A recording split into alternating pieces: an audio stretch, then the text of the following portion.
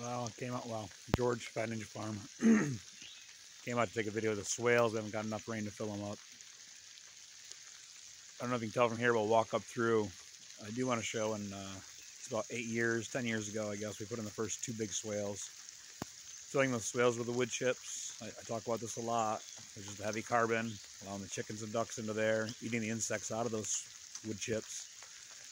Uh, it also in the earthworms and insects from underneath to, to feed on them creates soil, great soil in one year that way because the chickens are adding the nitrogen to it while they're pooping in there.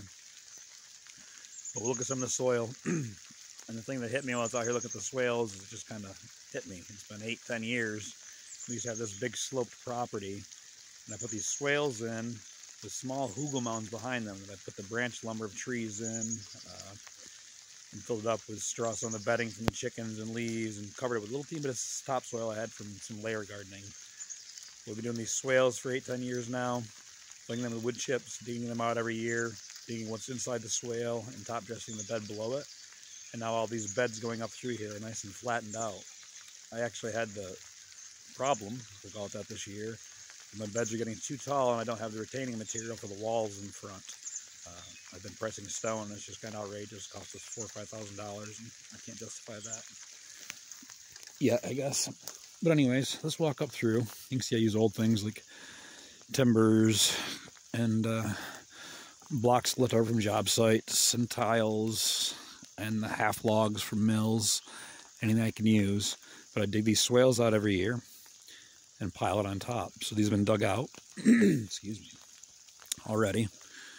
I'm starting to fill them back up with wood chips now. There's the wooden bridges in this one. But all these beds used to be little teeny beds in the back of it. They were just swales across the property. I changed it a little bit. They've all been filled up as these perennials have been put in here. Dug out every year. You can see we're refilling this with wood chips now and put on top.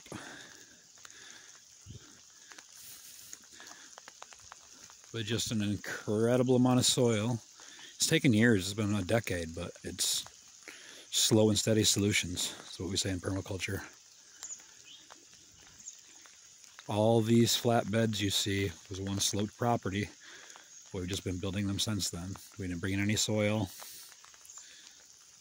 A couple loads of compost over the year, very little. One actually, two. One in the beginning and one last year. It was a gift from a friend. Just from using the animals. They're locked up right now. springtime, everything's coming in. I don't want them tearing it up. The organic matter, the leaves and the straw, and the wood chips